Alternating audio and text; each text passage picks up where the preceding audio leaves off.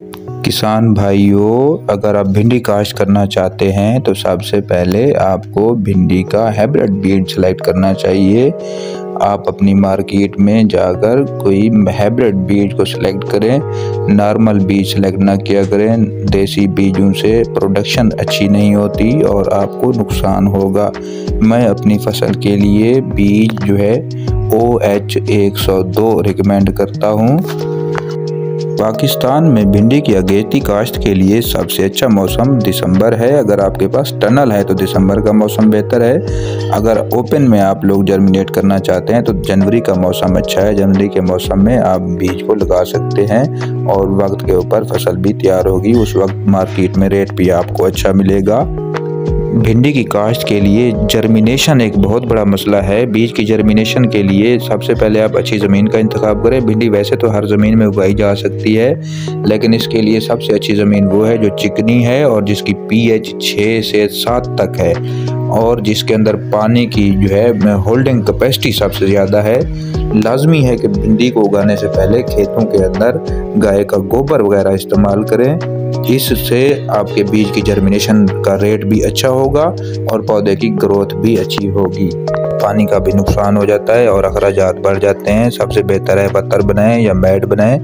जिसमें भिंडी से भिंडी तक का फासला चार से पाँच इंच होना चाहिए। ज़्यादा से ज़्यादा छः इंच तक रख सकते हैं और एक पत्थर के ऊपर दोनों तरफ़ भिंडी का जो है बीज लगाया करें। इस तरह आपके पौधों की तादाद ज़्यादा बढ़ जाएगी और प्रोडक्शन भी ज़्यादा होगी। एक पत्थर से दूसरी पत्थर तक का फासला दो से जो है ढाई फुट तक होना चाहिए। जब आप वतर में पानी छोड़ते हैं तो पानी को उस लेवल तक रखना चाहिए। बीज जब बीज लगाते हैं, बीज के लेवल से नीचे पानी होना चाहिए।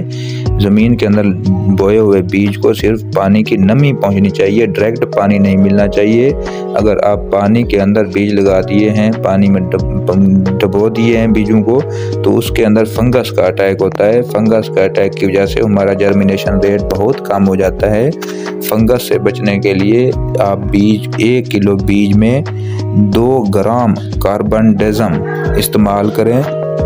अगर आप बड़े पैमाने पर भिंडी काश्त कर रहे हैं तो उसके लिए दो बोरी सिंगर सुपर फास्फेट फ़ी एकड़, एक बोरी डीएपी फ़ी एकड़, एक बोरी एमओपी फ़ी एकड़ और आधी बोरी यूरिया फ़ी एकड़।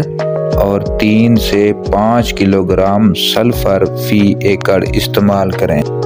बीज का जर्मिनेशन रेट जितना अच्छा होगा, उतने ही ज़्यादा भिंडी के प्लांट्स होंगे और उतनी ज़्यादा प्रोडक्शन होगी। ज़्यादा से ज़्यादा फ्रूटिंग हासिल करने के लिए हर 10 से 12 दिन तक भिंडी की गोडी करते रहें और उसके बाद हर एक से दो दिन के बाद भिंडी की जो है तोड़ाई करते रहें, इससे प्रोडक्शन मज़ीद बढ़ती जाएगी। अगर आप हमारे चैनल पर नए हैं तो हमारे चैनल को सब्सक्राइब कीजिए और बेल आइकन को प्रेस कीजिए।